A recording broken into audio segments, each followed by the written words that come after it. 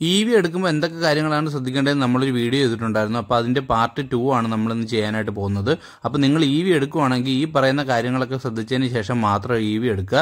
അപ്പോൾ നമ്മുടെ കൂട്ടത്തിൽ ഇപ്പോൾ മനു ആണുള്ളത്. മനുവിന് ഈ ഒരു കാര്യത്തിൽ എന്തൊക്കെയാണ് പറയാനുള്ളത്? നമുക്ക് നോക്കാം. എല്ലാവർക്കും നമസ്കാരം. നമ്മളൊരു പുതിയ ഇ വി വാങ്ങിക്കുമ്പോൾ ശ്രദ്ധിക്കേണ്ട കാര്യങ്ങൾ എന്തൊക്കെയാണെന്ന് കുറച്ച് പോയിന്റ്സ് കഴിഞ്ഞ പ്രാവശ്യം പറഞ്ഞു. അതിനകത്ത് ഏറ്റവും പ്രധാനമായിട്ട് നിൽക്കുന്നത് നിങ്ങളുടെ ആവശ്യം എന്താണ് എന്തുകൊണ്ടാണ് നിങ്ങൾ ഇ വി എടുക്കുന്നത് എന്നുള്ളതിന് കൃത്യമായ ഒരു ഉത്തരം നിങ്ങൾക്ക് ഉണ്ടാവണം അതായിരിക്കണം ബാക്കിയുള്ളതിനെ എല്ലാം ഡി ബാക്കിയുള്ള കാര്യങ്ങളെല്ലാം കൺസിഡർ ചെയ്യുന്നതിൽ മെയിനായിട്ട് നിൽക്കേണ്ടത്. ഓക്കെ അപ്പോൾ അതിന് അങ്ങനെ നിങ്ങൾ ഇ വി എടുക്കാൻ തീരുമാനിച്ചു. അതിനകത്ത് ഇ വി എടുക്കുമ്പോൾ ശ്രദ്ധിക്കേണ്ട ഒരു ഇ വിയെ സെലക്ട് ചെയ്യുമ്പോൾ ശ്രദ്ധിക്കേണ്ട രണ്ട് മെയിൻ പോയിന്റ്സിനെ കുറിച്ച് പറഞ്ഞു. വിലയുടെ കാര്യത്തെക്കുറിച്ചും പറഞ്ഞു. അതേപോലെ തന്നെ യൂസേജിന്റെ കാര്യം. ഓരോ ദിവസം ദിവസമുള്ള യൂസേജിന്റെ കാര്യം എങ്ങനെ വരുമെന്നുള്ളതും പറഞ്ഞു. സോ അത് രണ്ടും നമ്മൾ പ്രധാനമായിട്ടും കഴിഞ്ഞ ടോപ്പിക്സാണ് ഇനിയിപ്പോൾ അടുത്ത കുറച്ച് കാര്യങ്ങളെക്കുറിച്ച് ഇതിനകത്ത് പറയാൻ ശ്രമിക്കാം. ഒരു മാനുഫാക്ചറർ ഒരു വാഹനം പുറത്തിറക്കുമ്പോൾ കുറച്ച് കാര്യങ്ങൾ പറയുന്നുണ്ടാവും അത് നമ്മൾ പ്രോപ്പറായിട്ട് മനസ്സിലാക്കണം. അതായത് വണ്ടിയെക്കുറിച്ച് മാനുഫാക്ചർ പറയുന്ന കാര്യങ്ങളെക്കുറിച്ച് നമുക്ക് പ്രോപ്പറായിട്ടൊരു ബോധമുണ്ടായിരിക്കണം. അതിന് ഏറ്റവും ആദ്യം ചെയ്യേണ്ടത് വാങ്ങിക്കാൻ പോകുന്ന വണ്ടിയുടെ യൂസർ മാനുവൽ അതിന് മുമ്പ് കിട്ടുകയാണെങ്കിൽ അതൊന്ന് വായിച്ച് നോക്കുക. അത് മൊത്തം വായിക്കുമ്പോൾ ഫുള്ള് വായിച്ചില്ല എന്നുണ്ടെങ്കിലും എസെൻഷ്യലായിട്ട് ചാർജിങ്ങിനെയും ബാറ്ററിയെയും കുറിച്ചുള്ള ഭാഗങ്ങൾ മൊത്തം വായിച്ചാൽ ഒരു പരിധി വരെയുള്ള ഡൗട്ടുകൾ മാറിക്കിട്ടും. അതാണ് പ്രധാനമായിട്ടും ചെയ്യേണ്ടത്. പിന്നെ ഉള്ളതെന്ന് വെച്ച് കഴിഞ്ഞ് കഴിഞ്ഞാൽ ഒരു ഫുൾ ചാർജിൽ സഞ്ചരിക്കുന്ന റേഞ്ചിനെ കുറിച്ച് മാനുഫാക്ചർ പറയുന്നത് കൃത്യമായി മനസ്സിലാക്കുക. അതായത് മാനുഫാക്ചർ മിക്കവാറും പറയുന്ന എ ആർ ഐ പറയുന്ന ഒരു റേഞ്ച് ആയിരിക്കും അതായത് ആ വാഹനം എ ആർ ഐക്ക് കൊടുക്കുമ്പോൾ എ ആർ ഐ ഓടിച്ച് നോക്കി അവർക്ക് കിട്ടുന്ന റേഞ്ച് ആയിരിക്കും അവർ സർട്ടിഫൈ ചെയ്യുന്ന ഒരു റേഞ്ച് ആയിരിക്കും മിക്കവാറും പറയുന്നത്. അത് മിക്കവാറും ഹൺഡ്രഡ് പെർസെന്റേജ് ഡിസ്ചാർജ് ചെയ്തിട്ടുള്ളതായിരിക്കും. അതായത് നൂറ് ശതമാനത്തിൽ നിന്ന് പൂജ്യം ശതമാനം വരെ ഓടിച്ചിട്ട് കിട്ടുന്ന ഒരു റേഞ്ച് ആയിരിക്കും അതിനകത്ത് മിക്കവാറും പറയുന്നത്. സോ നമുക്ക് ഡെയിലി യൂസിനോ അല്ലെങ്കിൽ റിയൽ ലൈഫിലോ സ്ഥിരം നൂറ് ശതമാനം ഡിസ്ചാർജ് ചെയ്ത് ഉപയോഗിക്കാൻ ഒക്കില്ല എന്നുള്ള ഒരു കാര്യം. അത് കൂടാതെ നമ്മളുടെ ഈ റേഞ്ച് എന്ന് പറയുന്നത് നമ്മളുടെ ഡ്രൈവിംഗ് സ്റ്റൈലിനും ടെറൈനും എ സിയുടെ ലോഡിനും ഒക്കെ അനുസരിച്ച് വേരി ചെയ്യുന്ന ഒരു ഫാക്ടറാണ് എന്നുള്ളതും മനസ്സിലാക്കിയിരിക്കുക. കഴിഞ്ഞ പ്രാവശ്യം പറഞ്ഞതുപോലെ നിങ്ങൾ എത്ര ശതമാനം അതിനകത്ത് യൂസബിളായിട്ട് കൺസിഡർ ചെയ്യുന്നു എന്നുള്ളത് ഒരു മെയിൻ സംഗതിയാണ്. മാനുഫാക്ചർ പറയുന്നത് എങ്ങനെയാണ് എന്ന് മനസ്സിലാക്കിയിരിക്കുക. അത് റിയൽ ലൈഫിൽ കിട്ടണമെന്ന് നിർബന്ധമില്ല. പിന്നെ ചാർജ് ചെയ്യാനെടുക്കുന്ന സമയത്തിന്റെ കാര്യം. അതായത് സാധാരണഗതിയിൽ വണ്ടി ചാർജ് ചെയ്യുന്ന സമയത്ത് രണ്ട് മൂന്ന് കാര്യങ്ങളാണ് രണ്ട് മൂന്ന് ചാർജിങ് ടൈമാണ് മാനുഫാക്ചറേഴ്സ് പറയാറുള്ളത്. ഇപ്പോൾ ഉദാഹരണത്തിന് ഇപ്പോൾ ഇറങ്ങുന്ന വാഹനങ്ങളിൽ ഇപ്പോൾ ഇറങ്ങുന്ന ഇ വി വാഹനങ്ങൾ ഇപ്പോൾ ടിയാഗോയോ പഞ്ചോ അങ്ങനെ ഏതെങ്കിലും എടുക്കുകയാണെന്നുണ്ടെങ്കിൽ അതിന് ഒരു ചാർജിങ് സ്പീഡെന്ന് പറയുന്നത് സ്ലോ ചാർജിങ് സ്പീഡാണ് അതായത് വണ്ടിയുടെ കൂടെ കിട്ടുന്ന പതിമൂന്ന് ആംബിയർ വർക്ക് ചെയ്യുന്ന അല്ലെങ്കിൽ പതിനാറ് ആംബിയർ വർക്ക് ചെയ്യുന്ന ഒരു ഇ വി എസ് സി വെച്ചിട്ട് ചാർജ് ചെയ്യുമ്പോൾ വാഹനം ചാർജ് ചെയ്യുന്ന പവർ അതല്ല എന്നുണ്ടെങ്കിൽ അതെടുക്കുന്ന സമയമായിരിക്കും പറഞ്ഞിട്ടുണ്ടാവുക. പിന്നെ ഒന്ന് ഒരെണ്ണമെന്ന് പറയുന്നത് ഇച്ചിരിയുള്ള പവർ കൂടിയ ചാർജർ വീട്ടിൽ തന്നെ ഫിക്സ് ചെയ്യാവുന്ന മുപ്പത്തിരണ്ട് ആംബിയറിന്റെ ഇ വി എസ് സി ഒക്കെ കിട്ടും. സോ മുപ്പത്തിരണ്ട് ആംബിയറിന്റെ ഇ വി എസ് സി വെച്ച് ചാർജ് ചെയ്യുമ്പോൾ വാഹനം എടുക്കുന്ന പവർ എത്ര അല്ലെങ്കിൽ സമയം എത്ര എന്നുള്ളത്. പിന്നീട് പറയുന്ന മൂന്നാമത്തെ സംഗതി നിങ്ങളുടെ വാഹനം പുറത്തൊരു D C fast charger charge ചെയ്യുമ്പോൾ എടുക്കുന്ന സമയം അതിന്റെ പവർ എന്നുള്ളത്. ഇതിത്രയുമാണ് ബേസിക്കലി എല്ലായിടത്തും പറയുന്നത്. പക്ഷേ ഇതിനകത്ത് പറയുമ്പോൾ പ്രധാനമായിട്ടും ശ്രദ്ധിക്കേണ്ടത് ഇവർ പൂജ്യം ശതമാനം തൊട്ട് നൂറ് ശതമാനം വരെ ചാർജ് ചെയ്യാൻ എടുക്കുന്ന സമയമോ പവറോ ഒന്നും ആയിരിക്കത്തില്ല പറയുന്നത് അവർ മാക്സിമം പവറായിരിക്കും പറയുന്നത്. അത് കൂടാതെ പൂജ്യം ശതമാനം തൊട്ട് എൺപത് ശതമാനം വരെയോ അല്ലെങ്കിൽ പത്ത് ശതമാനം തൊട്ട് എൺപത് ശതമാനം വരെയൊക്കെ ആയിരിക്കും അവർ സാധാരണ പറയുന്നത്. സോ നമ്മൾ പെട്ടെന്ന് ഒരാൾ കേൾക്കുമ്പോൾ വിചാരിക്കുന്നത് പൂജ്യം ശതമാനം തൊട്ട് എൺപത് ശതമാനം വരെ ചാർജ് ചെയ്യാൻ ഇത്ര സമയമാണെങ്കിൽ ബാക്കി ഇരുപത് ശതമാനത്തിന് ഇത്രയും സമയവും കൂടെ എടുക്കും എന്നുള്ള രീതിയിലായിരിക്കും എല്ലാവരും വിചാരിക്കുക. അതല്ലെങ്കിൽ പൂജ്യം തൊട്ട് എൺപത് ശതമാനം വരെ എടുക്കാൻ ഒരു മണിക്കൂർ എടുക്കുമെന്നുണ്ടെങ്കിൽ ഇരുപത് ശതമാനം തൊട്ട് നൂറ് ശതമാനം ആക്കാനും എൺപത് മിനിറ്റ് അല്ലേ എടുക്കുക ഒരു മണിക്കൂറല്ലേ എടുക്കത്തുള്ളൂ എന്നായിരിക്കും എല്ലാവരും വിചാരിക്കുന്നത്. അങ്ങനെ വിചാരിക്കാൻ പാടില്ല. അത് നമ്മൾ വിചാരിക്കുന്നതിലെ കുറ്റമാണ്. അവർ പറഞ്ഞിട്ടുള്ള റേഞ്ചിൽ പറയുന്ന രീതിയിൽ പറയുന്ന സമയം കൊണ്ട് ചാർജ് ആവുന്നുണ്ട് എന്നുള്ളത് മാത്രമേ അവർ സ്റ്റേറ്റ് ചെയ്യുന്നുള്ളൂ. സോ അത് തന്നെ മുകളിലോട്ടും കിട്ടണമെന്നില്ല. എസ്പെഷ്യലി എൺപത് ശതമാനം കഴിയുമ്പോൾ അല്ലെങ്കിൽ തൊണ്ണൂറ് ശതമാനം കഴിയുമ്പോൾ ചാർജിങ്ങിന്റെ സ്പീഡ് കുറയാൻ സാധ്യതയുണ്ട്. അത് വളരെയധികം വേറെ പല കാര്യങ്ങളെയും കൂടെ അപേക്ഷിച്ചിരിക്കുന്നതാണ്. ബട്ട് സ്റ്റിൽ അക്കാര്യങ്ങളൊക്കെ ഒന്ന് ശ്രദ്ധിച്ചിരിക്കുക. നമ്മൾ കൺസിഡർ ചെയ്യുമ്പോൾ അതെല്ലാം സെർച്ച് ചെയ്യുക. അതും കൂടെ ശ്രദ്ധിച്ചിരിക്കുക. അത് കൂടാതെ നമ്മളെ വീട്ടിൽ ചാർജ് ചെയ്യുന്നതാണ് എന്നുണ്ടെങ്കിൽ വോൾട്ടേജിന്റെ കുറവ് കൊണ്ടും അതേപോലെ തന്നെ ചൂടിന്റെ എഫക്റ്റ് കൊണ്ടും ഒക്കെ ചിലപ്പോൾ അതിനും സമയം കൂടുതൽ എടുത്തെന്നൊക്കെ വരാം. പിന്നെ അവർ അഡ്വർട്ടൈസ് ചെയ്യുന്ന പവർ തന്നെ കിട്ടിക്കൊള്ളണമെന്ന് നിർബന്ധമൊന്നുമില്ല. അത് കിട്ടുന്നുണ്ടോ ഇല്ലയോ എന്നുള്ളത് ആരുടെയെങ്കിലും ഒരു നിങ്ങൾക്കിതെല്ലാം സമയത്തിന് വളരെയധികം പ്രാധാന്യം ഉണ്ടെങ്കിൽ മാത്രമേ ഉള്ളൂ. ഇപ്പോൾ വൈകുന്നേരം വണ്ടി വന്ന് കുത്തിയിട്ടിട്ട് രാവിലെ എടുത്തിട്ട് പോകുന്ന ഒരാളാണ് എന്നുണ്ടെങ്കിൽ ഇതൊന്നും വലിയ ഇഷ്യൂ വരത്തില്ല. പക്ഷേ നിങ്ങൾക്ക് അധികം സമയമില്ല എന്നുണ്ടെങ്കിൽ ഈ എത്ര സമയം എടുക്കുന്നു എന്നുള്ളതൊക്കെ ഒന്ന് കൺസിഡർ ചെയ്യുന്നത്. അല്ലെങ്കിൽ അതൊക്കെ ഇച്ചിരി കൂടെ ശ്രദ്ധയോടെ നോക്കുന്നത് നല്ലതായിരിക്കും. ഓക്കെ പിന്നീടുള്ള ഒരു പ്രധാന കാര്യം എന്താണെന്ന് വെച്ച് കഴിഞ്ഞ് കഴിഞ്ഞാൽ നിങ്ങൾ എങ്ങനെ ചാർജ് ചെയ്യണം എന്നറിഞ്ഞിരിക്കണം. വീട്ടിൽ ചാർജ് ചെയ്യുന്നത് അത്ര വലിയൊരു സംഗതി ആയിരിക്കത്തില്ല. പക്ഷേ D C fast charger charge ചെയ്യുന്നതിനെ കുറിച്ചൊക്കെ കുറച്ച് അവബോധം ഉണ്ടായിരിക്കണം. ഓരോ ചാർജിങ്ങിന്റെ കേസിലും എന്തൊക്കെയാണ് എങ്ങനെയൊക്കെയാണ് എന്നുള്ളത് ഒരു ഏകദേശം അണ്ടർസ്റ്റാൻഡിങ് ഉണ്ടായിരിക്കണം. പ്ലഗ് ഷെയർ എന്ന് പറഞ്ഞൊരു ആപ്പ് അതിന്റെ കുറച്ചധികം ഡീറ്റെയിൽസ് ഞാൻ പ്രത്യേകം പറയുന്നതായിരിക്കും. അത് ഒരു ഇ വി എടുക്കുമ്പോൾ ശ്രദ്ധിക്കേണ്ട കാര്യങ്ങൾ എന്തൊക്കെ? അല്ലെങ്കിൽ ഇ വി ഓണർ എന്തൊക്കെ കാര്യങ്ങൾ അറിഞ്ഞിരിക്കണം എന്ന് പറഞ്ഞ് പ്രത്യേക ഒരു ഭാഗം ഞാൻ പറയുന്നുണ്ട്. അതിനകത്ത് അതും കൂടെ പറയാൻ ശ്രമിക്കാം. ഓക്കെ ബേസിക്കലി എങ്ങനെ ചാർജ് ചെയ്യണമെന്ന് അറിഞ്ഞിരിക്കണം. പിന്നെ ഉള്ളതെന്ന് വെച്ച് കഴിഞ്ഞാൽ ഏത് ബാറ്ററി ടൈപ്പാണ് വണ്ടിക്കകത്ത് ഉപയോഗിച്ചിരിക്കുന്നത് എന്നുള്ളത്. അതും നിങ്ങളുടെ ഓരോ ടൈപ്പ് ബാറ്ററി പാക്കിനും ഓരോ ഗുണങ്ങളും ദോഷങ്ങളും ഒക്കെ ഉണ്ട്. അപ്പോൾ നിങ്ങളുടെ ഉപയോഗം നോക്കി ഏതാണ് വേണ്ടത് എന്നുള്ളത് തീരുമാനിക്കുക. ഇപ്പോൾ കൂടുതലും കണ്ടുവരുന്ന രണ്ട് ടൈപ്പ് ബാറ്ററീസാണ് ഒന്ന് N M C nickel manganese cobalt oxide എന്ന് പറഞ്ഞാൽ ലിഥിയം ബാറ്ററിയും അതുകൂടാതെ L F P lithium iron phosphate എന്ന് പറഞ്ഞൊരു ടൈപ്പ് സോ ഇത് രണ്ടും കൺസ് കമ്പയർ ചെയ്യുമ്പോൾ ഗൂഗിളിൽ ചെയ്യാവുന്നതേ ഉള്ളൂ. ഗൂഗിളിൽ ചെയ്യുമ്പോൾ നമുക്ക് കിട്ടുന്ന കുറച്ച് റിസൾട്ട്സ് പ്രകാരം എൻ എം സി ബാറ്ററീസിന് പവർ ഡെൻസിറ്റി കൂടുതലാണ്. അതായത് എൻ ഇച്ചിരി കൂടെ കൂടുതൽ പെർഫോമൻസ് ഉള്ള ബാറ്ററീസ് ആയിരിക്കും എൻ എം സി ബാറ്ററികൾ എന്നാൽ എൽ എഫ് പി ബാറ്ററികൾ എന്ന് പറയുന്നത് പെർഫോമൻസ് കുറച്ച് കുറവായിരിക്കും പവർ ഡെലിവറി കുറച്ച് കുറവായിരിക്കും എനർജി ഡെൻസിറ്റി കുറവാണ്. എൻ എം സി ബാറ്ററീസിന് എനർജി ഡെൻസിറ്റി കൂടുതലാണ്. പക്ഷേ ഓവറോൾ സേഫ്റ്റി കൺസിഡർ ചെയ്യുമ്പോൾ എൽ എഫ് പി ഇച്ചിരി കൂടെ സേഫറാണ്. ടെമ്പറേച്ചർ സ്റ്റെബിലിറ്റിയും മറ്റും ഇച്ചിരി കൂടെ സേഫറാണ്. അതേ അതേപോലെ തന്നെ എൽ എഫ് പിക്ക് ഇച്ചിരി കൂടെ ചാർജിങ് സൈക്കിൾ കൗണ്ടും കൂടുതലാണ്. അതായത് നിങ്ങൾക്ക് കൂടുതൽ നാൾ എന്നുള്ള രീതി അല്ലെങ്കിൽ കൂടുതൽ സൈക്കിൾസ് യൂസ് ചെയ്യുക ബാറ്ററി ഒരേ ബാറ്ററി വെച്ച് കൂടുതൽ ദൂരം ഓടുക ഡിസ്റ്റൻസ് കവർ ചെയ്യുക എന്നല്ല ഓവറോൾ വണ്ടിയുടെ ലൈഫ് സ്പാൻ കൂടുതൽ കിട്ടണമെന്നുണ്ടെങ്കിൽ എൽ എഫ് പി ആയിരിക്കും കൂടുതൽ നല്ലത് പക്ഷേ പെർഫോമൻസ് ഓറിയന്റഡ് ആയിട്ടാണ് കൺസിഡർ ചെയ്യുന്നതെന്നുണ്ടെങ്കിൽ എൻ എം സി തന്നെയായിരിക്കും എപ്പോഴും നല്ലത്. ഇപ്പോഴത്തെ അണ്ടർ അണ്ടർസ്റ്റാൻഡിങ്ങിൽ ഇനി പുതിയ ടെക്നോളജീസ് ഒക്കെ വരുമ്പോഴും ഇതൊക്കെ എങ്ങനെ അഫക്റ്റ് ചെയ്യുന്നു എന്നുള്ളത് നോക്കുക. വണ്ടി വാങ്ങുന്ന സമയത്ത്. അപ്പോൾ ഈ ഒരു ഇത്രയും കാര്യങ്ങൾ ഞാൻ പറഞ്ഞതിൽ മെയിനായിട്ട് ഉദ്ദേശിക്കുന്നത് നിങ്ങളുടെ മാനുഫാക്ചർ കുറേ അധികം കാര്യങ്ങൾ പറയുന്നുണ്ടാവും. അത് ഏതൊക്കെ സിറ്റുവേഷൻസിലാണ് പറയുന്നത്? ഏതൊക്കെ രീതിയിലാണ് നിങ്ങൾക്കത് ആപ്ലിക്കബിൾ ആവുന്നത് എന്നുള്ളത്. അത് ഇതല്ല വേറെ എന്ത് വാല്യൂസ് മാനുഫാക്ചർ പറയുന്നുണ്ടെങ്കിലും അതിന്റെ സിഗ്നിഫിക്കൻസ് നിങ്ങൾ മനസ്സിലാക്കുക. അതിനനുസരിച്ച് നിങ്ങളുടെ യൂസ് കേസ് അത് വരുന്നുണ്ടോ വരുന്നുണ്ടെങ്കിൽ അത് എത്രത്തോളം എന്നുള്ളതൊക്കെ മനസ്സിലാക്കിയിരിക്കുക. ഓക്കെ അതാണ് ബേസിക്കലി ഈ ഒരു ഭാഗം കൊണ്ട് ഞാൻ ഉദ്ദേശിച്ചത്. ഇനിയുള്ള ഒരു മെയിൻ സംഗതി എന്ന് പറയുന്നത് എസ്പെഷ്യലി ആദ്യത്തെ ഭാഗത്തിൽ ഞാൻ പറഞ്ഞ ഒരു പെർഫോമൻസ് കൺസിഡർ ചെയ്ത് വണ്ടി എടുക്കുന്നവർക്ക് മെയിനായിട്ടുള്ളൊരു ഭാഗമാണിത്. അതായത് നിങ്ങളുടെ പവറും റേഞ്ചും തമ്മിലുള്ള കോസ്റ്റിനെ കുറിച്ച് കൺസിഡർ ചെയ്യുന്നവർക്കും ഇത് ബാധകമാണ്.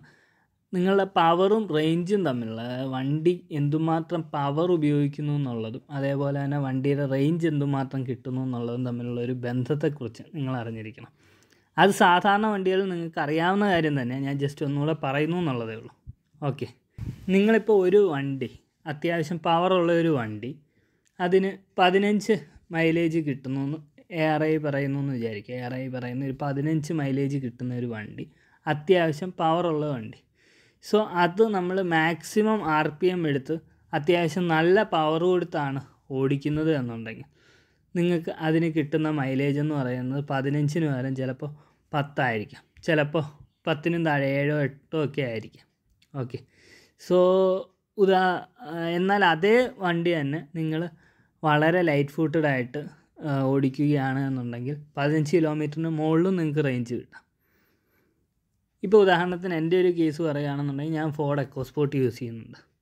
അതിന് സാധാ അത്യാവശ്യം കാലു കൊടുത്തൊക്കെയാണ് ഞാൻ ഓടിക്കുന്നത് എന്നുണ്ടെങ്കിൽ എക്കോസ്പോർട്ട് ഡീസലാണ് അതിന് എനിക്ക് കിട്ടുന്ന മൈലേജ് എന്ന് പറയുന്നത് പതിമൂന്നും പതിനാലും വരെയൊക്കെ കിട്ടാറുണ്ട്. പതിനാലല്ല പതിനഞ്ച് വരെയൊക്കെ കിട്ടാറുണ്ട് നോർമലി അത്യാവശ്യം കാലു കൊടുത്ത് ഓടിച്ചാൽ പക്ഷേ അതേ വണ്ടി ഞാൻ ലൈറ്റ് ഫൂട്ടഡ് ആയിട്ടാണ് ഓടിക്കുന്നത് എന്നുണ്ടെങ്കിൽ എനിക്കിപ്പോൾ ഇരുപത്തിനാല് ആ ഇ വി ഉപയോഗിക്കാൻ തുടങ്ങിയതിന് ശേഷം ഞാൻ ഓടിക്കുമ്പോൾ ഏതാണ്ട് ഇരുപത്തി മൂന്ന് ഇരുപത്തിനാല് വരെയൊക്കെ എനിക്ക് മൈലേജ് കിട്ടുന്നുണ്ട്. ലൈറ്റ് ഫൂട്ടഡ് ആയിട്ട് ഓടിക്കുകയാണെങ്കിൽ സോ ആ ഒരു വ്യത്യാസം നമ്മളുടെ പെട്രോൾ വണ്ടിയിൽ തന്നെ ഉണ്ട്. സോ അതുകൊണ്ട് നിങ്ങൾക്ക് എല്ലാവർക്കും അറിയാവുന്ന സംഗതിയായിരിക്കും.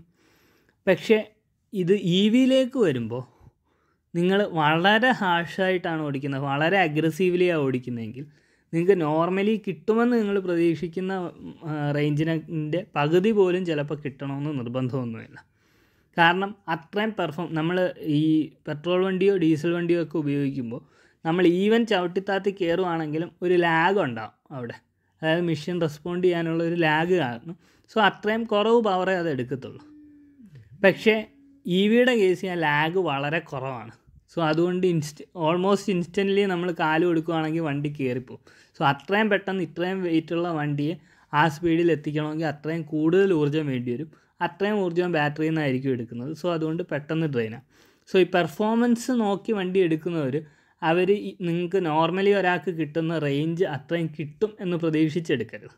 നിങ്ങളുടെ ബാറ്ററി നോർമലി നിങ്ങൾ ഓടാൻ ഉദ്ദേശിക്കുന്ന ഒരു റേഞ്ച് കിട്ടുന്നതിന്റെ പകുതി താഴേക്ക് നിങ്ങൾക്ക് ഓടുന്ന ഉള്ളെങ്കിൽ നിങ്ങൾ വലിയ കൺസേൺ എടുക്കേണ്ട ആവശ്യം വരത്തില്ലായിരിക്കും. പക്ഷേ എങ്കിലും ഈ ഒരു കാര്യം വണ്ടി എടുക്കുമ്പോൾ ശ്രദ്ധിക്കേണ്ട ഒരു കാര്യമാണ്.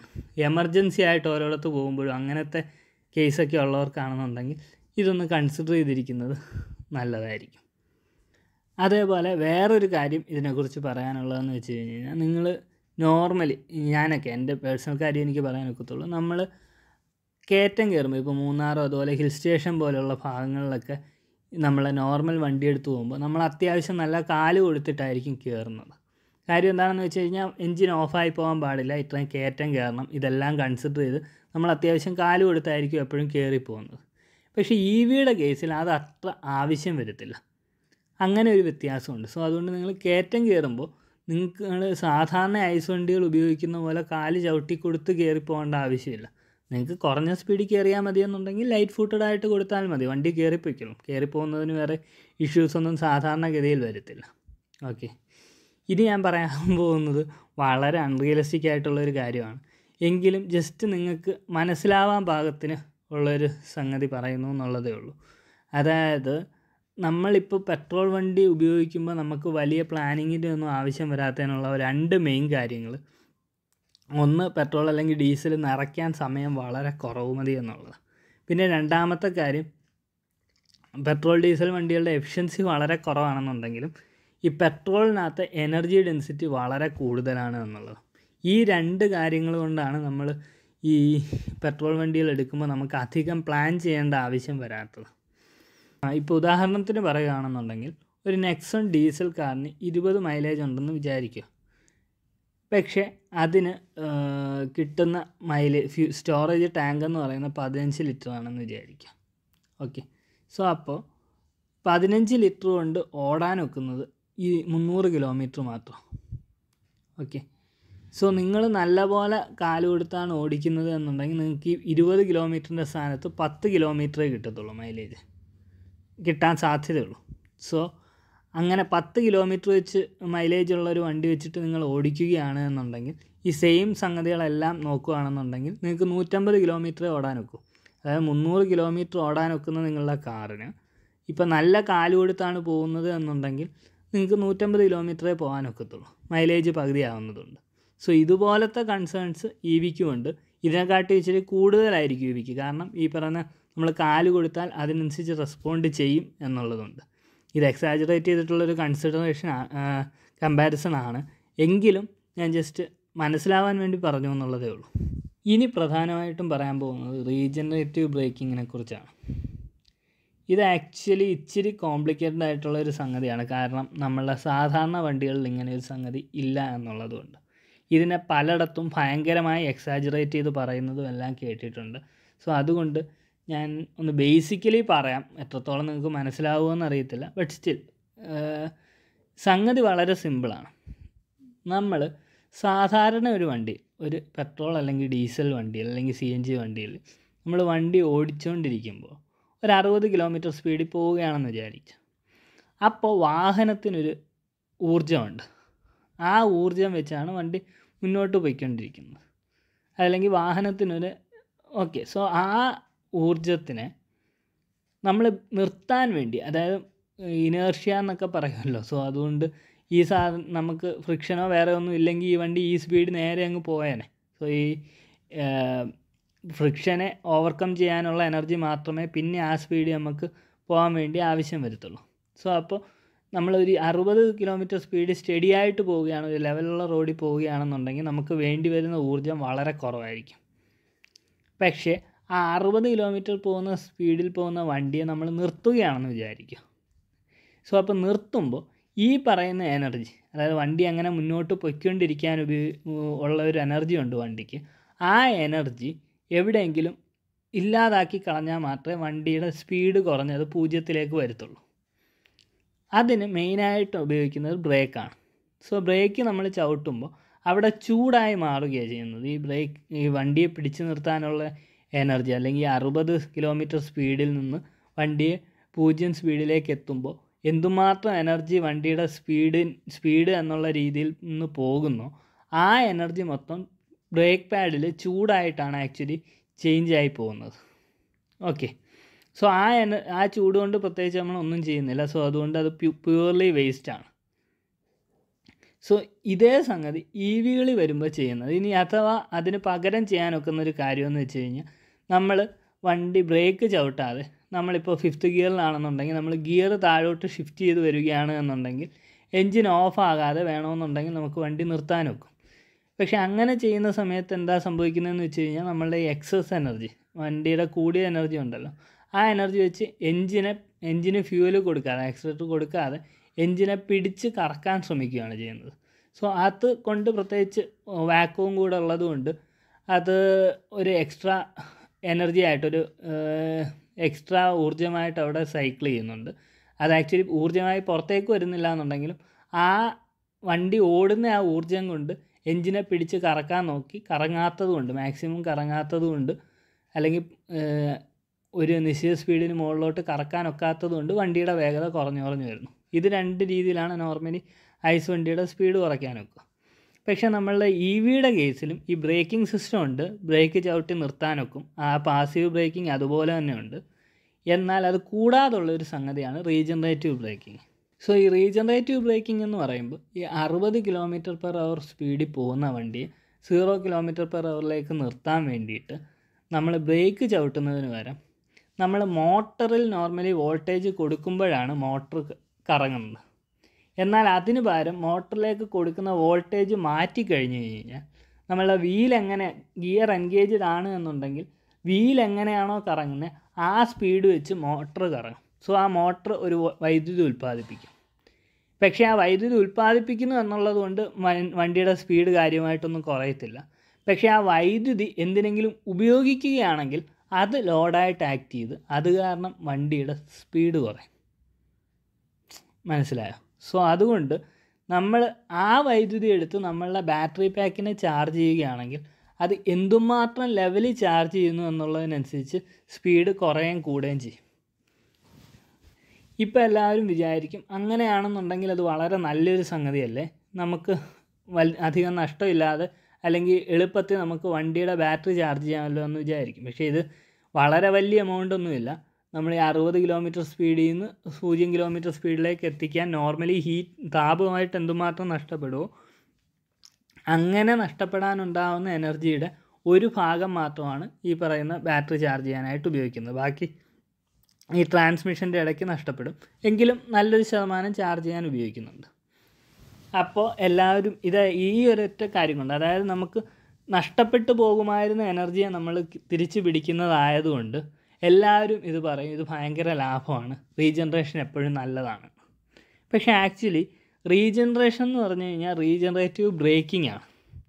സോ നിങ്ങൾ അറുപതിലോ എഴുപതിലോ എൺപതിലോ പോകുന്നൊരു വാഹനത്തെ സംബന്ധിച്ചിടത്തോളം സത്യം പറഞ്ഞു കഴിഞ്ഞാൽ നിങ്ങൾക്ക് നിർത്തേണ്ട ആവശ്യമില്ല എന്നുണ്ടെങ്കിൽ നിങ്ങൾ നിർത്താൻ പാടില്ല.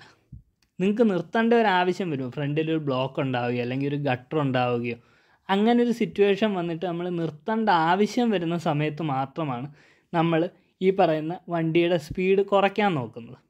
ആ സമയത്ത് മാത്രമേ ആ സമയത്ത് നമ്മളുടെ റിക്വയർമെന്റ് ആണ് വണ്ടിയുടെ സ്പീഡ് കുറയ്ക്കുക എന്നുള്ളത്. സോ അങ്ങനെയുള്ള ഒരു സമയത്ത് മാത്രമേ ഈ സ്പീഡ് കുറയ്ക്കുന്നത് കൊണ്ട് ബാറ്ററി ചാർജ് ചെയ്യുന്നത് കൊണ്ട് ഗുണമുള്ളൂ. അതല്ലാതെ ഒരു സിറ്റുവേഷനിലും ഈ റീജനറേഷൻ ഉപകര ഉപയോഗിക്കുന്ന സംഗതിയല്ല ഉദാഹരണത്തിന് നിങ്ങൾ ഒരു അറുപത് കിലോമീറ്റർ സ്പീഡിൽ ഒരു ഹൈവേയിൽ പോയിക്കൊണ്ടിരിക്കുക. അല്ലെങ്കിൽ ബ്ലോക്ക് ഒന്നും ഇല്ലാതെ ഒരു റോഡിൽ പോയിക്കൊണ്ടിരിക്കുക. സോ ആ സമയത്ത് നിങ്ങൾക്ക് സത്യം പറഞ്ഞു കഴിഞ്ഞാൽ ആ സ്പീഡിൽ തന്നെ പോയിക്കൊണ്ടിരിക്കുകയാണ്. നിങ്ങൾക്ക് ആക്സിലേറ്ററിൽ നിന്ന് കാലെടുക്കണമെന്ന് വിചാരിക്കുക. സോ ആക്സിലേറ്ററിൽ നിന്ന് കാലെടുത്ത് കഴിഞ്ഞ് കഴിഞ്ഞാൽ അപ്പോൾ ബാറ്ററി ചാർജ് ചെയ്യേണ്ട ആവശ്യമില്ല. അപ്പോൾ എത്ര സ്പീഡിലാണോ പോകുന്നത് ആ സ്പീഡിൽ തന്നെ മുന്നോട്ട് പോയിക്കൊണ്ടിരിക്കുക ചെയ്യേണ്ടത്. പിന്നെ എപ്പോഴാണോ നിങ്ങൾ ആക്സിലേറ്റർ കാൽ കൊടുക്കുന്നത് ആ സമയത്ത് എന്തുമാത്രം സ്പീഡ് കുറഞ്ഞു അതിനനുസരിച്ച് ചെറിയൊരു എനർജി ബാറ്ററിയിൽ നിന്ന് എടുത്തു കഴിഞ്ഞാൽ വീണ്ടും അറുപതിലോട്ട് കയറും അല്ലെങ്കിൽ എഴുപതിലാണെങ്കിൽ എഴുപതിലോട്ട് തിരിച്ച് കയറാനായിട്ട് വളരെ കുറഞ്ഞ ഊർജം മതി. പക്ഷേ നിങ്ങൾ റീജനറേഷൻ അവിടെ ഓണാക്കി ഇട്ടിരിക്കുകയാണ് എന്നുണ്ടെങ്കിൽ നിങ്ങളൊരു അറുപത് അറുപത്തഞ്ച് അറുപതിൽ പൊയ്ക്കൊണ്ടിരിക്കുന്നു. ആ സമയത്ത് നിങ്ങളൊന്ന് കാൽ ആക്സിലേറ്ററിൽ നിന്ന് എടുക്കുന്നു. ഒന്ന് കാലിന് റെസ്റ്റ് വേണ്ടേ? ഈ ഇ വി ഉപയോഗിച്ച് തുടങ്ങി കഴിയുമ്പോൾ അതിന്റെ ഒരു വ്യത്യാസം മനസ്സിലാവും. സോ ആക്സിലേറ്റർ ലൈറ്റ് ഫൂട്ടഡ് ആയിട്ട് ഓടിക്കുമ്പോൾ കാലിൽ നിന്ന് ആക്സിലേറ്ററിൽ നിന്ന് കാലെടുക്കുന്ന സമയത്ത് നമുക്ക് ആ ഒരു വ്യത്യാസം ഫീൽ ചെയ്യും. നമുക്ക് കാലിന് ജസ്റ്റ് റെസ്റ്റിന് വേണ്ടി എടുക്കുമ്പോൾ. ആ റീജനറേഷൻ എനേബിൾഡ് ആണെങ്കിൽ അത് വെച്ചിട്ട് വണ്ടി ചാർജ് ചെയ്യാൻ നോക്കും. സോ അങ്ങനെ ചാർജ് ആവുന്നതുകൊണ്ട് നേരത്തെ അറുപതിൽ നിന്ന് അമ്പത്തഞ്ച് വരെ സ്പീഡ് കുറയുന്നുള്ളതായിരുന്നെങ്കിൽ അതേ സമയം കൊണ്ട് വണ്ടിയുടെ സ്പീഡ് അറുപതിൽ നിന്ന് നാൽപ്പത്തഞ്ചിലോട്ട് വന്നിട്ടുണ്ടാകും പിന്നെ നമ്മൾ വീണ്ടും അറുപതിലേക്കാക്കാൻ വേണ്ടിയിട്ട് കാൽ കൊടുക്കുമ്പോൾ കൂടുതൽ ഊർജം ബാറ്ററിയിൽ നിന്ന് അതായത് ചാർജ് ചെയ്യാൻ ഉപയോഗിച്ചതിനെക്കാട്ടിയും ഊർജം ചിലപ്പോൾ ബാറ്ററിയിൽ നിന്ന് വീണ്ടും സ്പീഡ് അറുപതിലെത്തിക്കാൻ വേണ്ടി ഉപകരി എടുക്കേണ്ടി വരും. സോ അങ്ങനെ എക്സ്ട്രാ എനർജി ഉപയോഗിക്കാത്ത രീതിയിൽ റീജൻ വരി ഉപയോഗിക്കുകയാണെങ്കിൽ വളരെ നല്ലതായിരിക്കും. സോ ഇതിന് ചെയ്യാനൊക്കുന്ന കാര്യം എന്താണെന്ന് വെച്ച് കഴിഞ്ഞാൽ ഇതിന് ആക്ച്വലി ഏറ്റവും എഫിഷ്യന്റ് ആയിട്ട് ചെയ്യാൻ എന്റെ പേഴ്സണൽ ഒപ്പീനിയനിൽ ചെയ്യാനൊക്കുന്ന കാര്യം എന്താണെന്ന് വെച്ച് കഴിഞ്ഞാൽ റീജനറേഷൻ നമ്മൾ ബ്രേക്ക് നമ്മൾ ബ്രേക്ക് പാഡ് ചവിട്ടാത്ത സമയത്ത് റീജനറേഷൻ ഓഫ് ചെയ്തിടുന്നതായിരിക്കും ഏറ്റവും നല്ലത്. സോ അപ്പോൾ നമുക്ക് എങ്ങനെ ഈ ജനറേ റീജനറേഷൻ നമുക്ക് എങ്ങനെ എഫിഷ്യന്റ് ആയിട്ട് ഉപയോഗിക്കാം എന്നുള്ളത് നോക്കുകയാണെങ്കിൽ ഏറ്റവും എഫിഷ്യന്റ് ആയിട്ട് ഉപയോഗിക്കാൻ വെക്കുന്നതിനകത്ത് നമ്മൾ പ്രധാനമായിട്ടും ശ്രദ്ധിക്കേണ്ട കാര്യം നമ്മൾ പ്രഡിക്റ്റീവ് ആയിട്ടുള്ള ഒരു ഡ്രൈവിംഗ് പാറ്റേൺ ഫോളോ ചെയ്യുക എന്നുള്ളത്. ഇത് റീജനറേഷൻ എഫക്റ്റീവായിട്ട് യൂസ് ചെയ്യാൻ വേണ്ടിയല്ല നിങ്ങൾ നോർമലി യൂസ് ചെയ്യുന്ന വണ്ടികളിലെ മൈലേജ് കൂട്ടാനും ഉപയോഗി ഉപകരിക്കുന്ന സംഗതിയാണ്. അതായത് നിങ്ങൾ എപ്പോഴും ഫ്രണ്ടിലത്തെ വണ്ടിയുമായിട്ട് അത്യാവശ്യം ഡിസ്റ്റൻസ് ഇട്ട് ട്രാവൽ ചെയ്യുക. സോ ദാറ്റ് ഫ്രണ്ടിലത്തെ വണ്ടി സഡൻ ബ്രേക്ക് ഇടുമ്പോഴോ അല്ലെങ്കിൽ സ്ലോ ചെയ്യാൻ തുടങ്ങുമ്പോഴോ അതിന് മുമ്പേ നിങ്ങൾക്ക് ഒരു അവയർനെസ് ഉണ്ടാവും. സോ അതിനനുസരിച്ച് പതുക്കെ നിങ്ങൾക്ക് ബ്രേക്ക് ചവിട്ടാൻ വെക്കും സോ മാക്സിമം സ്ലോ ആയിട്ട് ഡീസലറേറ്റ് ചെയ്യുകയാണ് എന്നുണ്ടെങ്കിൽ നിങ്ങൾ സീറോയിൽ എത്തുന്നതിന് മുമ്പ് അല്ലെങ്കിൽ വണ്ടി നിൽക്കുന്നതിന് മുമ്പ് തന്നെ നിങ്ങൾക്ക് വീണ്ടും വണ്ടി കണ്ടിന്യൂ ചെയ്ത് പോകാൻ വെക്കും അതുകൊണ്ടുള്ള മെയിൻ ബെനിഫിറ്റ് നിങ്ങൾക്ക് അധികം ഊർജം അതായത് സീറോയിൽ നിർത്തിയിട്ട് നിങ്ങൾ വീണ്ടും അറുപതിലേക്ക് എത്തിക്കുന്നതിന്റെ അത്രയും ഊർജം നിങ്ങൾക്ക് വേണ്ടി വരത്തില്ല എന്നുള്ളതാണ്. സോ അതുകൊണ്ട് എന്റെ പേഴ്സണൽ ഒപ്പീനിയൻ ഇപ്പോൾ റീജനറേഷൻ ഓടി ഏറ്റവും എഫിഷ്യന്റായിട്ട് യൂസ് ചെയ്യാൻ റീജനറേഷൻ ഓഫ് ചെയ്തിടുക. അതിനുശേഷം നിങ്ങൾ ബ്രേക്ക് പെഡലിൽ ചവിട്ടുന്ന സമയത്ത് നിങ്ങൾക്ക് റീജനറേഷൻ കിട്ടി കിട്ടും. ചെറുതായിട്ട്. നിങ്ങൾ ലൈറ്റായിട്ടാണ് ബ്രേക്ക് ചവിട്ടുന്നതെന്നുണ്ടെങ്കിൽ നിങ്ങൾക്ക് റീജനറേഷൻ കിട്ടും. ആ രീതിയിൽ ഓടിക്കുന്നതായിരിക്കും നല്ലത്. പക്ഷേ ഞാൻ ഇതുവരെ കണ്ടിട്ടുള്ള പഞ്ചീവി വരെ ഞാൻ ട്രൈ ചെയ്ത് നോക്കി. സോ ഇതിനകത്തെല്ലാം ടാറ്റയ്ക്കകത്തുള്ള വണ്ടിയിൽ ശ്രദ്ധിച്ചിട്ടുള്ളൊരു കാര്യം നിങ്ങൾ റീജനറേഷൻ സീറോയിൽ ഇട്ടിട്ട് ഓടിക്കുകയാണെങ്കിൽ പഞ്ചീവിയിൽ ഇച്ചിരി കൂടെ മോശമാണ് അതിനെക്കുറിച്ച് ഞാൻ ഇപ്പോൾ പറയുന്നില്ല. പക്ഷേ next E V facelift വരെയുള്ള വണ്ടികളിൽ നിങ്ങൾ റീജനറേഷൻ സീറോയിൽ ഇട്ടിട്ട് ബ്രേക്ക് ചവിട്ടുകയാണെങ്കിൽ ബ്രേക്ക് ലൈറ്റായിട്ട് ചവിട്ടുകയാണെന്നുണ്ടെങ്കിൽ നിങ്ങൾക്ക് റീജനറേഷൻ കിട്ടുന്നത് കുറച്ച് കുറവായിരിക്കും. പക്ഷേ റീജനറേഷൻ ലെവൽ വണ്ണിൽ ഇടുകയാണ് എന്നുണ്ടെങ്കിൽ നിങ്ങൾ ബ്രേക്ക് ചവിട്ടുന്ന ലൈറ്റായിട്ട് ബ്രേക്ക് ചവിട്ടുന്ന സമയത്ത് നിങ്ങൾക്ക് മാക്സിമം റീജനറേഷൻ കിട്ടും. സോ നിങ്ങൾ ഈ പ്രഡിക്റ്റീവ് ഡ്രൈവിങ്ങിന്റെ കൂടെ ഈ റീജനറേഷന്റെ ബെനിഫിറ്റും കൂടെ ഉപയോഗിക്കുകയാണെങ്കിൽ അതായത് നിങ്ങൾ ചെറുതായിട്ട് റീജനറേഷൻ വളരെ ലൈറ്റായിട്ട് നിങ്ങൾ ബ്രേക്ക് പെഡലിൽ ചവിട്ടുമ്പോൾ നിങ്ങൾക്ക് കിട്ടുന്ന റീജനറേഷൻ ഉപയോഗിച്ച് നിങ്ങൾ വണ്ടി സ്ലോ ചെയ്യാൻ ഒക്കുകയാണ് എന്നുണ്ടെങ്കിൽ നിങ്ങൾക്ക് മാക്സിമം എഫിഷ്യൻസി വരും.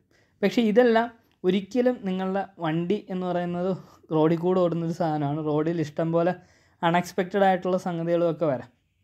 സോ ഒരിക്കലും നിങ്ങൾ ഇതിനെ മാത്രം ഡിപ്പെൻഡ് ചെയ്തുകൊണ്ട് ഓടിക്കരുത്. നിങ്ങൾക്ക് ഒക്കുന്ന സമയത്ത് ഒഴിഞ്ഞ റോഡ് ട്രാഫിക്ക് കുറവുള്ള സമയത്തൊക്കെ വേണമെങ്കിൽ നിങ്ങൾക്ക് മാക്സിമം എഫിഷ്യന്റ് ആയിട്ട് ഓടിക്കാൻ നോക്കാം. ഇനി എപ്പോഴെങ്കിലും ടാറ്റ ഈ റീജൻ സീറോ ലെവലിലുള്ള ബഗ് ഒഴിവാക്കുകയാണെങ്കിൽ അതായത് റീജൻ സീറോ ആയിരിക്കുന്ന സമയത്ത് ബ്രേക്ക് ചവിട്ടുമ്പോൾ ലൈറ്റായിട്ട് ബ്രേക്ക് ചവിട്ടുമ്പോൾ മാക്സിമം റീജനറേഷൻ കിട്ടുന്ന രീതിയിലുള്ള ഒരു അപ്ഡേറ്റ് വരികയാണ് എന്നുണ്ടെങ്കിൽ റീജനറേഷൻ സീറോയിലിട്ട് ഓടിക്കുന്നതായിരിക്കും ഏറ്റവും എഫിഷ്യന്റ് എനിക്ക് ആ ഒരു പ്രശ്നം ഉള്ളതുകൊണ്ട് മാത്രമാണ് ഇപ്പോൾ ഞാൻ റീജൻ വണ്ണിൽ സ്ഥിരമായിട്ട് ഓടിക്കുന്നത്. അതല്ല എന്നുണ്ടായിരുന്നെങ്കിൽ റീജൻ സീറോയിലോട്ട് തന്നെ മാറിയാണ്. ഓക്കെ. പഞ്ചീവിയിലെ കേസ് ഇച്ചിരി കൂടെ മോശമാണ്. അതായത് പഞ്ചീവിയിൽ റീജൻ മൂന്നിലിട്ട് കഴിഞ്ഞാൽ മാത്രം റീജൻ മൂന്നിലിട്ട് ബ്രേക്ക് ഔട്ട് മാത്രമാണ് മാക്സിമം റീജനറേഷൻ കിട്ടുന്നതായിട്ട് എനിക്ക് തോന്നിയിട്ടുള്ളത്. പിന്നെ അപ്ഡേറ്റ് വന്നിട്ട് ഇപ്പോൾ മാറ്റം വന്നിട്ടുണ്ടോ എന്ന് എനിക്കറിയത്തില്ല. പക്ഷേ ഞാനത് ഇറങ്ങിയ സമയത്ത് എന്റെ ഒരു കസിൻ എടുത്തപ്പോൾ ഞാൻ ട്രൈ ചെയ്ത് നോക്കിയിട്ടുണ്ടായിരുന്നു. അപ്പോൾ റീജൻ ത്രീയിലിട്ട് നമ്മൾ ബ്രേക്ക് ചവിട്ടുന്ന സമയത്ത് മാത്രമാണ് നമുക്ക് മാക്സിമം റീജനറേഷൻ കിട്ടുന്നത്. ടൂയിലും വണ്ണിലും അത് കുറവാണ്. ത്രീയെ അപേക്ഷിച്ച് കുറവാണ്. സീറോയിലും വളരെ കുറവാണ്. സോ അതുകൊണ്ട് പഞ്ച് യൂസ് ചെയ്യുന്നവർ പാഡൽ ഷിഫ്റ്റേഴ്സിന്റെ അഡ്വാന്റേജ് ഉപയോഗിച്ച് മാക്സിമം റീജിയനിൽ എത്തിയതിന് ശേഷം ബ്രേക്ക് ചെയ്യുക. അതേപോലെ തന്നെ റീജിയൻ മാക്സിമം കുറച്ചിട്ട് നോർമലി റൺ ചെയ്യുന്ന സമയത്ത് മാക്സിമം പരമാവധി കുറച്ചിട്ട് യൂസ് ചെയ്യുക. അതേപോലെ തന്നെ നിങ്ങൾക്ക് ഇച്ചിരി കൂടെ എളുപ്പം പാഡൽ ഷിഫ്റ്റേഴ്സ് ഉള്ളതുകൊണ്ട് ചേഞ്ച് ചെയ്യാൻ ഇച്ചിരി കൂടെ എളുപ്പമായതുകൊണ്ട് വേണമെന്നുണ്ടെങ്കിൽ റീജിയൻ കൂട്ടിയിട്ട് ആവശ്യത്തിന് സ്പീഡ് കുറഞ്ഞു എന്ന് പറയുമ്പോൾ വീണ്ടും റീജൻ ഓഫ് ചെയ്യുകയോ അല്ലെങ്കിൽ കുറയ്ക്കുകയോ ചെയ്യാനൊക്കെ. അങ്ങനെ ഒരു അഡ്വാന്റേജ് പഞ്ചീവിയിലുണ്ട് ഓക്കെ സോ ഇതൊക്കെയാണ് റീജനറേഷനെ കുറിച്ച് എന്റെ അണ്ടർസ്റ്റാൻഡിങ്സ് അല്ലെങ്കിൽ എനിക്ക് പറയാനുള്ളത്. സോ കഴിവതും റീജൻ ആവശ്യമില്ലാതെ ഉപയോഗിക്കാതിരിക്കുക. പിന്നെ നിങ്ങളെല്ലാവരും ചോദിക്കും ഈ പറഞ്ഞ പോലെ ഇത്രയും എഫിഷ്യന്റ് ആണ് റീജൻ സീറോ അല്ലെങ്കിൽ റീജൻ ഓഫ് ചെയ്തിട്ട് ഇടുന്നതാണ് ഇത്രയും എഫിഷ്യന്റ് എന്നുണ്ടെങ്കിൽ പിന്നെ എന്തിനാണ് റീജൻ ടൂവും ത്രീയോ അല്ലെങ്കിൽ കൂടുതൽ റീജിയൻ ലെവൽസിന്റെ ആവശ്യം എന്തിനാണ് എന്നുള്ളൊരു ചോദ്യം വരും. അതെന്താണെന്ന് വെച്ച് കഴിഞ്ഞാൽ റീജിയൻ ലെവൽ ത്രീ ഇട്ട് ഓടിക്കുകയാണെങ്കിൽ സിറ്റി യൂസേഴ്സിനൊക്കെ വണ്ടി ഓടിക്കാൻ സൗകര്യമായിരിക്കും. ഓടിക്കാൻ സൗകര്യമായിരിക്കും എന്ന് പറയാൻ മെയിൻ കാര്യമെന്ന് വെച്ച് കഴിഞ്ഞ് കഴിഞ്ഞാൽ നിങ്ങൾ ബ്രേക്ക് ചവ നിങ്ങൾക്ക് ആക്സിലേറ്റർ എന്ന് പറഞ്ഞ ഒരൊറ്റ ആക്സിലേറ്ററിന്റെ കൺട്രോൾ വെച്ചിട്ട് നിങ്ങൾക്ക് വണ്ടിയെ ഫുള്ളി കൺട്രോൾ ചെയ്യാൻ ഒക്കും. ഓൾറെഡി നമ്മളുടെ വണ്ടിക്കകത്ത് ക്ലച്ച് ഇല്ല. അത് കൂടാതെ ബ്രേക്ക് പെഡലിന്റെ യൂസേജും വളരെ മിനിമലായിട്ട് തന്നെ യൂസ് ചെയ്ത് നിങ്ങൾക്ക് വണ്ടി brake stop and brake stop and go ട്രാഫിക്കിൽ use ചെയ്യാനൊക്കെ ഇപ്പോൾ ഫ്രണ്ട് ബമ്പർ ടു ബമ്പർ ട്രാഫിക്കൊക്കെ വരുന്ന സമയത്ത് നമ്മൾ ജസ്റ്റ് ആക്സിലേറ്ററിൽ നിന്ന് കാലെടുക്കുക വണ്ടി ഫ്രണ്ടിലോട്ട് നീങ്ങാൻ തുടങ്ങും. അപ്പോൾ തന്നെ വീണ്ടും ആക്സിലേറ്ററിൽ നിന്ന് ആക്സിലേറ്ററിൽ നിന്ന് കാലെടുക്കുമ്പോൾ തന്നെ വണ്ടി നിൽക്കും കൊടുക്കുക ആക്സിലേറ്ററിൽ കാൽ കൊടുക്കുക എടുക്കുക. ആ രീതിയിൽ നിങ്ങൾക്ക് യൂസ് ചെയ്യാനൊക്കും അതൊരു കൺവീനിയൻസ് ആണ്. പക്ഷേ എഫിഷ്യന്റ് ആണോ അല്ലയോ എന്നുള്ളത് നിങ്ങളുടെ യൂസ് കേസ് അനുസരിച്ച് മാത്രം നോക്കുക. ഓക്കെ ഇതാണ് എനിക്ക് റീജനറേഷനെയും കുറിച്ച് പറയാറുള്ളത്.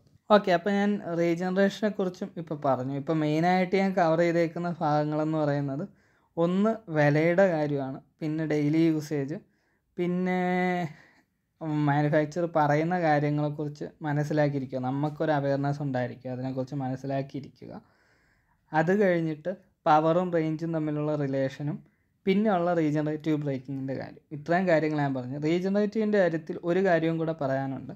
ഇപ്പോൾ ഏറ്റവും കൂടുതൽ റീജനറേറ്റിന്റെ റീജനറേഷന്റെ ബെനിഫിറ്റ് കിട്ടുന്നത് നിങ്ങളൊരു ഹൈ ഹിൽ സ്റ്റേഷനിൽ പോയി തിരിച്ചിറങ്ങുന്ന സമയത്താണ്.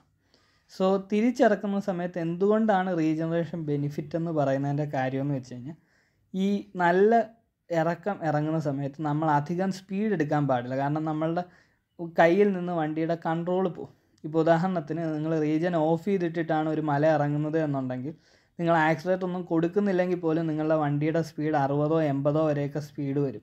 അതുമാത്രമല്ല ഷാർപ്പ് കോർണേഴ്സോ വരുന്നത്.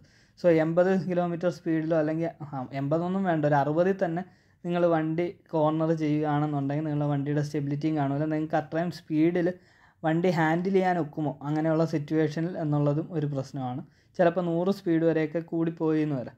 So at the end of the day വണ്ടിയുടെ കൺട്രോൾ പോകും സോ അങ്ങനെയുള്ള സിറ്റുവേഷൻ നമ്മളുടെ റിക്വയർമെന്റ് നേരത്തെ ഞാൻ ഈ ബ്രേക്ക് ഒരു കുഴി വരുമ്പോൾ നമ്മൾ ബ്രേക്ക് ചവിട്ടുന്നു. അല്ലെങ്കിൽ ഒരാൾ പാസ് ചെയ്യാൻ നേരത്തെ നമ്മൾ ബ്രേക്ക് ചവിട്ടുന്നു. ഒരു ട്രാഫിക് ബ്ലോക്ക് വരുമ്പോൾ നമ്മൾ ബ്രേക്ക് ചവിട്ടുന്നു എന്നതുപോലെ തന്നെ നമ്മളുടെ വണ്ടിയുടെ സ്പീഡ് കുറയ്ക്കുക എന്നുള്ളത് നമ്മളുടെ റിക്വയർമെന്റ് ആണ്. ആ സമയത്ത് നമ്മൾ റീജൻ കുറച്ച്. ഇപ്പോൾ നിങ്ങൾക്ക് കംഫർട്ടബിൾ ആയിട്ടുള്ള ഒരു സ്പീഡ് നാൽപ്പതിലാണ് എന്നുണ്ടെങ്കിൽ നിങ്ങൾ റീജൻ അഡ്ജസ്റ്റ് ചെയ്ത് ഒരു നാൽപ്പത് സ്പീഡിൽ പോകും അത് കഴിഞ്ഞിട്ട് ഇപ്പോൾ റീജൻ വണ്ണിലോ ടൂയിലോ ഇടുമ്പോൾ നാൽപ്പത് വരുന്നുണ്ട്. പക്ഷേ പിന്നെ ഇറക്കം ഇറങ്ങുമ്പോൾ സ്പീഡ് കൂടിപ്പോയി. ഒരു നാൽപ്പത്തഞ്ചിന് മുകളിലോട്ട് പോകുന്നു എന്ന് വെച്ചാൽ അപ്പോൾ നിങ്ങൾ റീജൻ ലെവൽ ഒന്നുകൂടെ കൂട്ടുക. അപ്പോൾ ഈ സ്പീഡ് കുറഞ്ഞ് കുറഞ്ഞ് മുപ്പത്തഞ്ചോ മുപ്പത്തിനാലോ ഒക്കെയാവും സോ അങ്ങനെ വരുന്ന സമയത്ത് നിങ്ങൾക്ക് വീണ്ടും റീജൻ കുറയ്ക്കാം. സോ അങ്ങനെ നിങ്ങൾക്ക് റീജൻ അഡ്ജസ്റ്റ് ചെയ്തിട്ട് ഇറങ്ങാനൊക്കും പക്ഷേ ഇതെല്ലാം ശ്രദ്ധിക്കുക. റീജൻ അഡ്ജസ്റ്റ് ചെയ്യുന്ന സമയത്ത് ഒരിക്കലും ശ്രദ്ധ റോഡിൽ നിന്ന് പോകരുത്. അത് മാത്രമല്ല ഇതൊന്നും സേഫ്റ്റി വിട്ടിട്ടുള്ള ഒരു കളിയാവരുത്. എപ്പോഴും ബ്രേക്ക് പാഡിൽ ബ്രേക്ക് പെഡലിൽ കാൽ വേണം. എങ്ങനെയെങ്കിലും നിങ്ങൾക്ക് എപ്പോൾ വേണമെങ്കിലും ഒരു എമർജൻസി വരാം. സോ വണ്ടി ചവിട്ടി നിർത്തേണ്ടി വരാം. സോ അതിന് എപ്പോഴും പ്രിപ്പയർ ആയിരിക്കുക. അതേപോലെ തന്നെ ഫ്രണ്ടിലത്തെ വണ്ടിയുമായിട്ട് അത്യാവശ്യം ഡിസ്റ്റൻസും ഇട്ട് പോവുക. ഇതൊക്കെയാണ് എനിക്ക് പറയാനുള്ളത്. സോ റീജനറേഷന്റെ കാര്യം കൂടെ ഞാൻ പറഞ്ഞിട്ടുണ്ട്. ഇനിയിപ്പോൾ വണ്ടിയുടെ കംഫർട്ടിന്റെ കാര്യം. അതിനെക്കുറിച്ച് അധികമൊന്നും പറയാനില്ല. സാധാരണ വണ്ടിയെ അപേക്ഷിച്ച് ഇ വിക്ക് കംഫർട്ട് വളരെ കൂടുതലായിരിക്കും. ഇനി പ്രധാനമായിട്ടുള്ള റിസ്ക് എന്ന് പറഞ്ഞ് കുറച്ചധികം കാര്യങ്ങൾ വണ്ടി എടുക്കുമ്പോൾ നമ്മൾ ശ്രദ്ധിക്കേണ്ടതായിട്ടുണ്ട്. അതിനെക്കുറിച്ചും സെയിൽസ് ആഫ്റ്റർ സെയിൽസ് പിന്നെ ഈ പറഞ്ഞ പോലെ കമ്മ്യൂണിറ്റിയുടെ കാര്യം അതിനെക്കുറിച്ചൊക്കെ പിന്നെ എന്തൊക്കെ ഒരു ഇ വി ഓണർ ആയിക്കഴിഞ്ഞാൽ എന്തൊക്കെ കാര്യങ്ങൾ ശ്രദ്ധിക്കണം? ഇങ്ങനെയുള്ള കാര്യങ്ങളെല്ലാം വേറൊരു പോസ്റ്റായിട്ട് ഇടാൻ ശ്രമിക്കാം. അത് നിങ്ങൾക്ക് എന്തെങ്കിലുമൊക്കെ സജഷൻസോ സംഗതികളോ ഉണ്ടെന്നുണ്ടെങ്കിൽ പറയുക. അതിനനുസരിച്ച് എന്തെങ്കിലും ഇമ്പ്രൂവ്മെന്റ്സ് വരുത്താനൊക്കെമെങ്കിൽ ഇമ്പ്രൂവ്മെന്റ്സ് വരുത്താം. പിന്നെ എന്റെ ലിങ്ക് ഈ എന്റെ ആർട്ടിക്കിളിന്റെ ലിങ്ക് ഞാൻ താഴെ ഇടുന്നുണ്ട്. അത് ഫുള്ളായിട്ടില്ല നിങ്ങൾക്കുള്ള സജഷൻസ് അതിനകത്ത് വേണമെങ്കിലും കുറിക്കാം. ഓക്കെ താങ്ക് യു അപ്പോൾ ഇതൊക്കെയാണ് ഇ വി എടുക്കുന്ന സമയത്ത് നമ്മൾ ശ്രദ്ധിക്കേണ്ട മറ്റു കാര്യങ്ങൾ അപ്പോൾ ഇതിന്റെ ഒരു പാർട്ട് ത്രീ വീഡിയോ നമ്മൾ ചെയ്യുന്നുണ്ട്. അപ്പോൾ ഈ ഒരു വീഡിയോ നിങ്ങൾക്ക് യൂസ്ഫുൾ ആയെന്ന് വിചാരിക്കുന്നു. എന്തെങ്കിലും ഡൗട്ട്സോ കാര്യങ്ങളോ ഉണ്ടെങ്കിൽ കമന്റ് ചെയ്ത് കഴിഞ്ഞാൽ പാർട്ട് ത്രീയിൽ നമ്മൾ ആ ഒരു ഡീറ്റെയിലോട് ഇൻക്ലൂഡ് ചെയ്യുന്നതായിരിക്കും. അപ്പോൾ ഇ വി റിലേറ്റഡ് ആയിട്ടുള്ള കൂടുതൽ വീഡിയോസായിട്ട് നമുക്ക് ഇനിയും കാണാം. പുതിയൊരു വീഡിയോ ആയിട്ട് വരുന്നവരെ bye from E V trips and tips